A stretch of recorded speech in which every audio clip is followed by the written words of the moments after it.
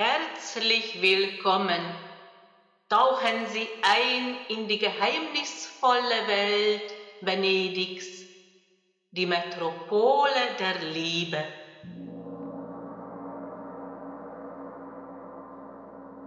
Wünsch dir was. Wir Menschen haben Wünsche, Sehnsüchte, Träume, Visionen.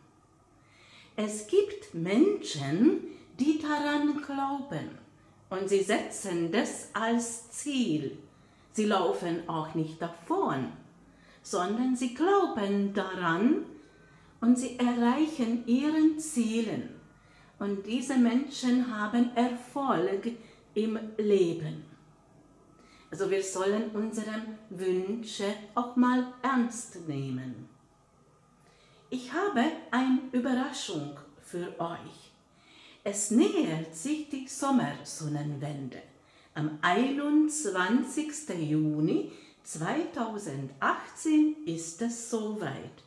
Und diesem Tag werde ich ein Ritual machen mit schamanischen Trommel. Und ich werde dieses Ritual am Meer durchführen, auch aufnehmen, dieser Wunscherfüllung-Ritual. Und ich habe ein Angebot für euch. Schreibt euren Wünsche. Ob das jetzt die Finanzen sind oder die Liebe oder Kunst, Kreativität oder eine schriftliche Angelegenheit wie eine Prüfung, eine gerichtliche Sache, oder habt ihr ein Buch geschrieben und wollt ihr das veröffentlichen? Dafür ist diese Schriftrolle da. Schreibt mir euren Wünsche und seid ihr dabei in diesem Wunscherfüllungsritual. Es kostet nichts, gar nichts und ihr habt auch keine Verpflichtungen. Mir ist wichtig, dass ihr ein E-Mail schreibt und ihr teilt eure Wunsch oder euren Wünsche mit. Und ich beantworte jede E-Mail, weil jeder Wunsch ist individuell.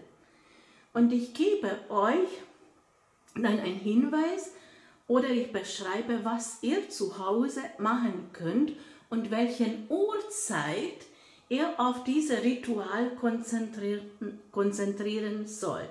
Natürlich muss ich anderes dann äh, beschreiben, wenn es um die Liebe geht und anderes beschreiben, wenn es um berufliche Situation geht oder um die Finanzen geht. Aber ihr bekommt auf euren E-Mail eine Antwort ganz individuell. Und ich beschreibe, wie viel Uhr sollt ihr konzentriert sein, was sollt ihr denken und tun und dann seid ihr schon dabei. Energetisch seid ihr in diesem Ritual dabei. Und das ist ein Geschenk für euch, für eure Treue, für die Abos, auch die Nachfrage, aber Ihr müsst gar nichts dafür tun. Auch wenn ihr diese Aufnahme erstes Mal anschaut, fühlt euch frei, ihr seid für nichts verpflichtet, sondern seid ihr dabei bei diesem Wunscherfüllung und die Zeitpunkt eignet sich wunderbar dafür, Sommersonnenwende, damit eine Wende kommt und die Wunsch zum Erfüllung geht.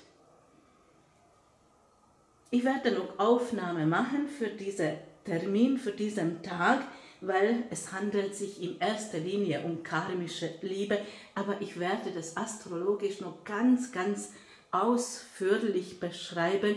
Mir geht jetzt gar nicht darum, sondern hier geht es um die Wünsche.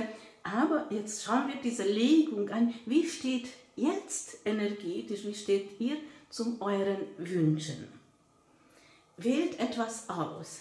Ist es die Finanzen, die guten Geschäfte oder die Liebe, Partnerschaft oder euren Selbstständigkeit, Kunst, Kreativität oder Spiritualität oder eine schriftliche Lage. Wie steht das jetzt? Wie steht ihr zu diesem Wunsch? Jetzt schauen wir diese Legung an. Wie fühlt sich das an momentan bezüglich auf euren Wunsch? Das zeigt hier diese Karte an. Ihr seid ziemlich sicher, und das zeigen hier die Münzen, dass dieser Wunsch realistisch ist und dass ihr erreichen könnt. Ihr habt auch einen Bezug zu diesem Wunsch.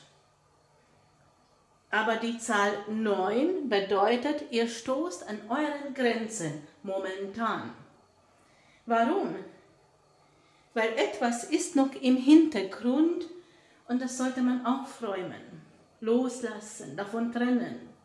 Oder wenn es um Beruflichen geht, auch die Mut zu haben zum Kündigen.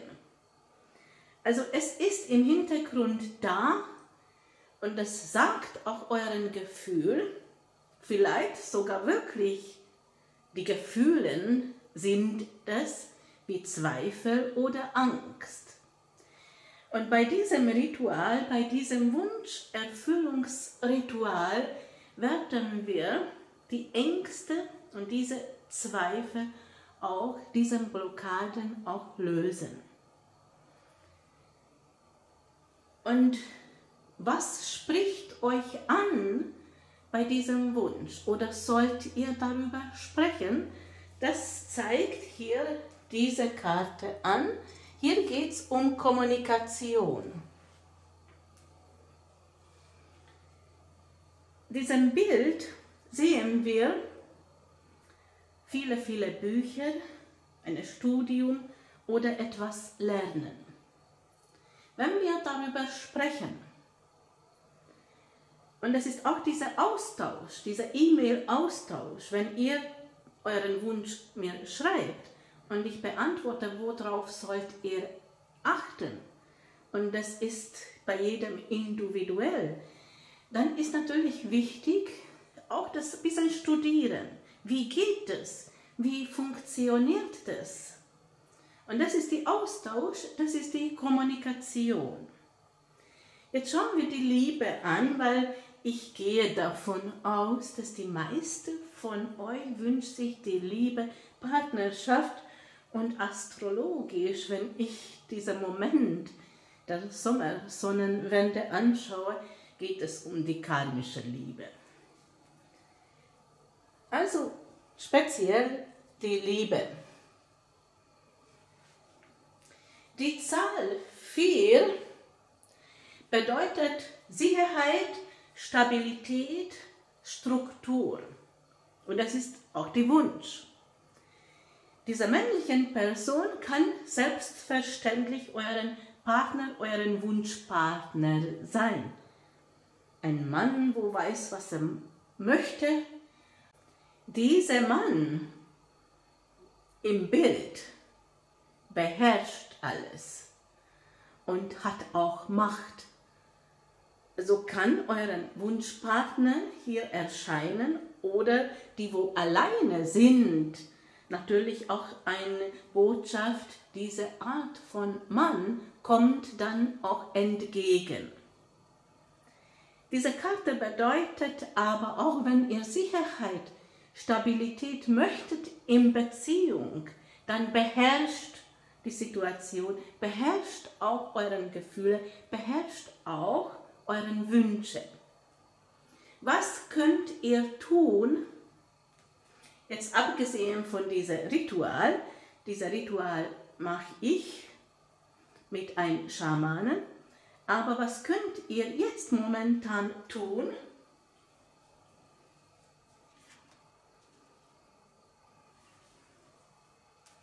Bleibt in inneren Gleichgewicht.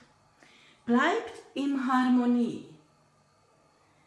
Diese Karte bedeutet auch die Quelle. Und wo liegt die Quelle? In unserem Inneren. Das ist die Intuition. Macht es alles intuitiv. Natürlich unterstütze ich euch dabei. Und wie ich schon sagte, das ist ein Geschenk, das kostet gar nichts. Aber wichtig ist auch, dass ihr in inneren Harmonie bleibt. Habt ihr Glück bei dieser Wunscherfüllung oder hindert etwas bei diesem Glück, da haben wir die Botschaft. Glück habt ihr, wenn ihr im Vertrauen bleibt. Wobei diese Karte etwas anderes sagt für die Damen als für die Herren. Für die Damen bedeutet diese Karte in Vertrauen bleiben, im Vertrauen des Fluss des Lebens, dass alles kommt, dass alles in Bewegung ist und für die Männer bedeutet das auf eine bestimmte Dame zugehen. Und wieder erscheint hier die Zahl 4, die Struktur, die Sicherheit und Stabilität. Was sollen wir dabei lernen? Das zeigt hier diese Karte. Nichts anderes als im Vertrauen bleiben, dass das etwas entgegenkommt. Das ist das Vertrauen und das Glauben daran. Ändert sich etwas nach diesem Sommer Sonnenwende? Es öffnet sich Türen. Achtet auf euren Gefühlen. Sei mit euren Wunsch in Verbindung. Achtet auf, auf die Gefühle, besonders auf die Gefühlen, dass diese Achterbahn die Gefühlen aufhört und beobachtet das auch, was ist hier im Hintergrund. Wer ist diese dritte Person, wo zuschaut? Ist das Neid oder Eifersucht? oder die Chancen, Möglichkeiten, weil jemand öffnet sich den Tür. Also das ist wichtig, dass man achtsam ist auf die Gefühlszustand, auch die Verbindung zu dem Wunsch und beobachten die Umstände. Warum habt ihr diesen Wunsch? Warum ist es wichtig? Und welche Botschaft kommt noch was wichtig sein kann bei dieser Wunscherfüllung.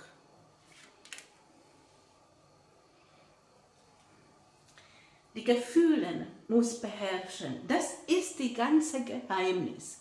Unserem Gedanken können wir schnell umpolen. Das ist überhaupt kein Problem. Aber die Gefühle transformieren, wenn da Angst und Zweifel da ist, das ist schwierig. Und genau diese Ritualen bewirken etwas, dass wir diese Leichtigkeit spüren, es ist andere Energie, da bewegt sich was. Und das kann natürlich auch diese Ängste, Blockaden auflösen, besonders die schamanischen Trommel. Und hier diesem Bild zeigt auch, wie wichtig das ist bei Wunscherfüllung, die Gefühle zu beherrschen, zwar mit dieser Haltung. Auch das Abwarten, weil das kommt vielleicht nicht sofort. Alles braucht Zeit. Und das hat auch Qualität. Also das zum Beherrschen und auch geduldig zu sein und nicht zweifeln, sondern in diesem Haltung bleiben. Woran liegt die Kraft oder was gibt Kraft dazu, wenn wir vertrauen, es ist alles rein und sauber und dass wir beobachten können und auch gibt ein gutes Gefühl, es bewegt sich etwas. Nun, das war diese Legung, wünsch dir was, also bitte, wünsch dir was und schreib dein Wunsch. Meine E-Mail-Adresse ist blitzberatung at bitte dazu schreiben Wunscherfüllung. Ich bedanke mich für das Zuschauen. Mein Name ist Dendera Susanna Medici.